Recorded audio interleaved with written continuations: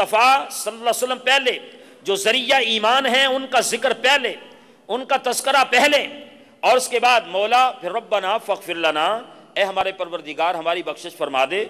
रब्बना फ़िरलना ज़ुनूबना, हमारे गुनाहों को बख्श दे। वक़फ़िर अन्ना सयातिना, और हमारी सयात को, हमारी जो है वो बुराइयाँ, उनको मिटा डाल। वतवफ़ना मालबरार और हमें नेकों के साथ जो है वो मौत अता फरमाना। अगर नेकों की सालहीन की कोई अहमियत ना हो, उनकी मैत और फाकत कोई माने ना रखती हो, उनकी सोबत और उनका कोई दर्जा ना हो, वो भी आम ही हों तो क्यों रब ताला अपने बंदों को खुद तरीका और सरीका बता रहा है? फरमा रहा है कि जब बख्शिश तलब करो, जब रहमतें तलब करो तो ईमान के ज़रिए को, जो ज़रिया ईमान है, जो जाने ईमान हैं जिनके ज़रिए ईमान मिला है, उनका भी तस्करा करो।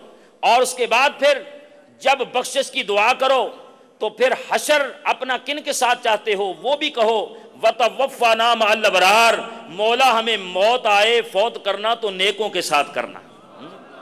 तो नेकों का कितना बुलंद दर्जा है, कितना मुकाम है। अतहियात में बैठते हैं, तशाहुद में तो उसमें भी पढ़ते हैं, अस्सलाम अलैना, हम पर भी सलाम हो वाह अस्सलाम अलैना व अलाबादिल्लाहीन मौला जो तेरे सालहीन बंदे हैं उन पर भी सलाम हो। है? इसका मतलब है सालहीन का भी एक मुकाम और दर्जा है। व तवफ़ा नाम अल्लबरार दूसरी आया मुबारक का तर्जमा समात फरमाएँ। फरमाया रब्बना व आतिना मा व अत्तना अला रसुलिक। मौला वो कुछ हमें अता फरमा जो तूने अपने प्यारे रसूलों के ज़रिए हमसे वादा किया है, है? तो वास्ता रिसालत के बगैर किसी को तोहीद की मार्फत भी नसीब नहीं हो सकती। बाकी तो बात की बातें हैं। ईमान जब नसीब नहीं हो सकता, तोहीद और हिदायत नहीं मिल सकती तो ये नेमतें जन्नत और अल्लाह की तरफ़ से बख्श जो मफरत ये सारे खजाने तो बाद की बात है। इसके लिए शर्त है मोमिन होना, ईमान वाला होना। तो ईमान जिस जात से मिलता है और अल्लाह रब्बुल इज़्ज़त ने इन जन्नतों का जिस ज़रिए से वादा किया है उस ज़रिए और वास्ते को भी अल्लाह रब्बुल इज़्ज़त ने अपने बंदों को फरमाया, उस ज़रिए का भी तस्करा किया करो। अपनी दुआ में उस वास्ते का भी ज़िक्र किया करो। रब्बना व आतिना मा व अत्ताना अला रसुलिक वला तुखजना यौमल कियामा। मौला, हमें क्यामत के दिन रसवा ना करना। बेशक तू अपने वादे के खिलाफ नहीं करता। एक हदीस मार का सुना के बाद को ख़त्म करता हूँ। तबरानी शरीफ के हवाला से मौली ज़करिया साहब ने फ़ज़ाइल आमाल जो है तबरीगी निसाब, उसके फ़ज़ाइल ज़िक्र के बाब में इस हदीस मुबारक को तबरानी शरीफ के हवाले से नकल किया है। फरमाते हज़रत आदम सलाम, आप दुआ करते रहे, लेकिन दुआ की कबूलियत का वो जहूर ना हुआ जो आप चाहते थे।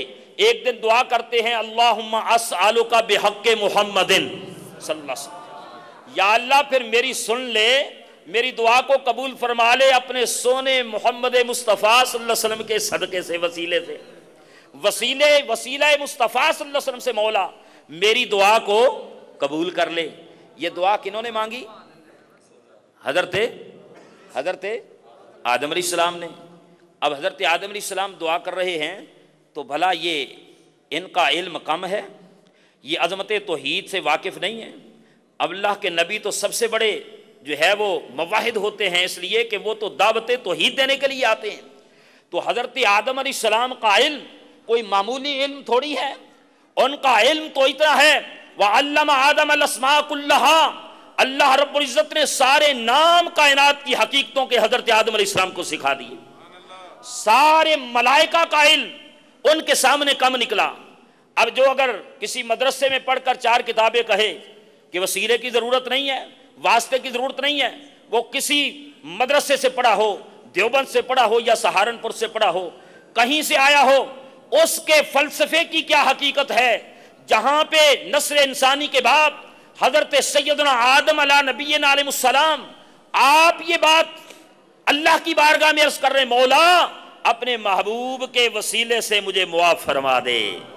तो अल्लाह रब्बुल इज़्ज़त ने भी आगे से यही फरमाया, प्यारे आदम सलाम, मुझसे मांगने के लिए, तलब करने के लिए वसीले की क्या ज़रूरत है? आप तो मेरे नबी हैं, बड़े प्यारे हैं मसजूद मलाइका हैं, आप क्यों वसीला दे रहे हैं? आप वैसे ही दुआ करते, आपने ऐसा क्यों किया? अल्लाह नाराज़ अल्लाह नाराज़ नहीं हुआ, बल्कि राज़ी हुआ और पूछा, प्यारे आदम इस्लाम ये बताओ, ये नाम कहाँ से सीख लिया? तो हज़रत आदम इस्लाम अर्ज़ करते हैं, मौला, ये नाम जब मुझे तखलीक किया गया था तो मुझे हुक्म हुआ था, मैं अर्श पर देखूँ। लम्मा खलकतनी रफा तो रासीला अर्श जब तूने, मौला, मुझे तखलीक किया था, मुझे हुक्म हुआ था, मैं अर्श पर देखूँ।